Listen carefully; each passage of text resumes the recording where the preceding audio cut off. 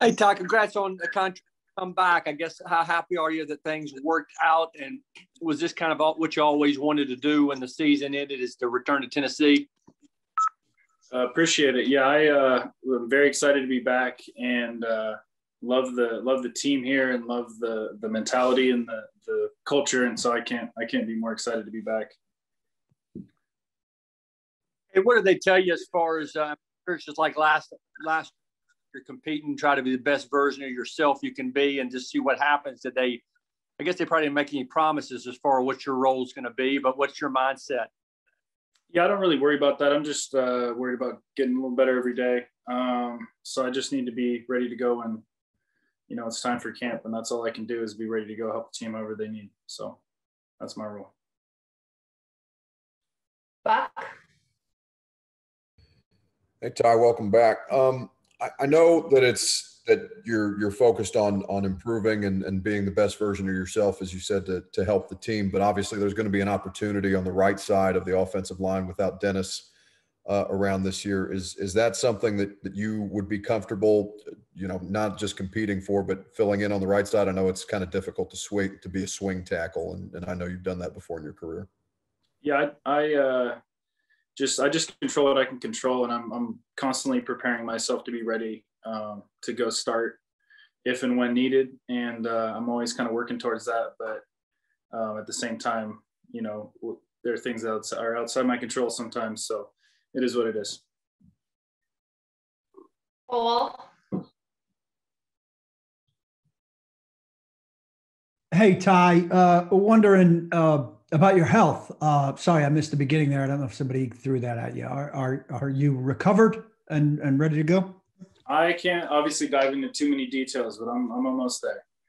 It's been it's been a long haul, but I'm almost there. What did uh, what was it like to to kind of watch? Uh, you, you had your moment, um, and and there were a lot of games in front of you, and then you suffered the same fate that uh, that Lewan suffered. Uh, must have been very difficult, and uh, and then also encouraging to see David do well. Yeah, it was great. Uh, I, you know, obviously playing in this, the league as long as I have every year uh, is a storybook of injuries and, and storylines that kind of come about. So um, last year, obviously, we we got hit and, and both the both tackles went down, and um, obviously losing Taylor's tough. And then Dave came in and played really well. Um, so it was nice to see there's no fall off, you know, with the guys you go to battle with every day. Thanks. John Glennon. Hey, Ty. Um, yeah, I guess two for you. I, I guess what did you think of, um, you know, Del- Dennis's release and and uh, Kendall signing, and, and did that factor into your re-signing? Uh, and, and, I guess the other one, I know you talked about this last year, just the, the challenge of, of you know, being ready to play at either of those tackle spots? Yeah, I think um, you know, free agency is always kind of a weird time of year for for everyone in the business, um, and you know, it's tough tough for a lot of people, and it's great for a lot of people. Um, so I, have never lost sight of that on both ends. So um, I'm usually just kind of concerned with myself, and like I say, just continuing to get better daily. Um, I'm happy, you know. Obviously, we're gonna have 11 guys out there when it's time to go play ball. And that's, that's really all I can tell you. Thank you. David Boclair. Ty, with with you and Lewan and Quessenberry and now Kendall Lamm, you've got four tackles again who have caught touchdown passes in the league. I believe, though, you've got the most run after the catch. What kind of bragging rights does that give you? I think we're all in a, a pretty special group. Uh, I think we all kind of each have our own little little uh, story to tell. So um, you know, obviously mine's a memory I'll always have, and I'm sure theirs are as well. What, what's the story with that touchdown? What do you remember most from that moment and that feeling across in the goal line? Oh, it was, it was unbelievable. Um, it was exactly how I thought it would feel. I don't know how else to put it, but a lot of a lot of thought into scoring a touchdown, and it felt exactly how I thought it would. So that's all I can tell you about that. I don't know what else how else to put it. Jim Wyatt. So Todd, do you, do you did you stay in Nashville to kind of continue to rehab, or what's what's kind of your plan moving forward as you try to get 100 percent for the start of uh, football activities? Yeah, I'll be here getting ready for the season. Um, you know, just kind of working through whatever this offseason uh, program is laid out by the PA and the league. So we'll kind of see what what happens. But I'm ready for whatever whatever comes about. And, and why, is you, in your mind, do you feel like Tennessee is the right place for you to be? And I guess I'm kind of putting in your words in your mouth, but I guess you wouldn't have signed here if that wasn't the case. Or why, why is this maybe a good fit for you here? You know, I first and foremost, I have a lot of respect and care for the uh, the teammates I play with and the amount of work that they've put in to get here, and that they put in on a daily basis to stay here. Um, and you know, a lot of great guys in this in this locker room, great people and great players. So it was a no brainer to stay and uh, you know go to battle with these guys obviously love the coaching staff and love you know what we run and, and the mentality we play with. So I'm excited to be back.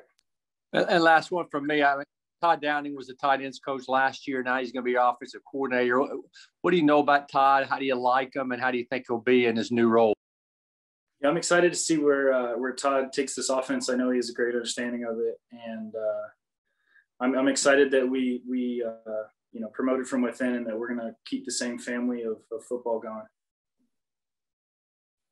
Buck? Yeah Ty, kind of kind of going back to the uh, the uncertainty about what this offseason and, and leading up into otas and things like that is going to be at this point. I know the league and the, the nflpa are trying to figure out you know what the preference would be as far as virtual or in person. Do you, do you have a preference on that front? And and if are there any benefits to it being virtual for a for a vet player who's who's been through a couple of these uh, springs and training camps before? I definitely think there is value in not having to uh, put reps on guys who don't necessarily need the the no pads OTA reps.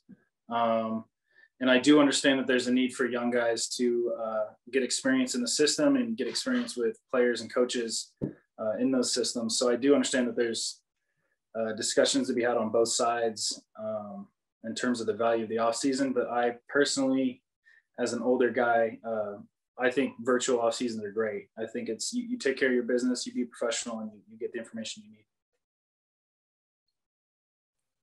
David Boclair. Ty, it'd been a while since you'd played a lot at left tackle. What what did what did being on that side again do for your overall game? Do you feel like you're you're maybe a little bit better player now for that experience again?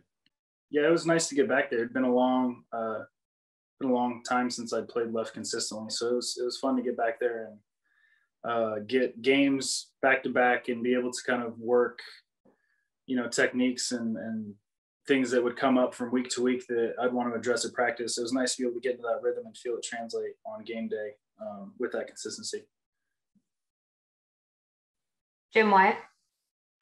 And some of the new guys that have been signed on the defensive side of the ball, uh, you know, Bud Dupree and Nico Autry, you have experience working against some of those guys, and and what do you think they will bring to the defense as an offensive player?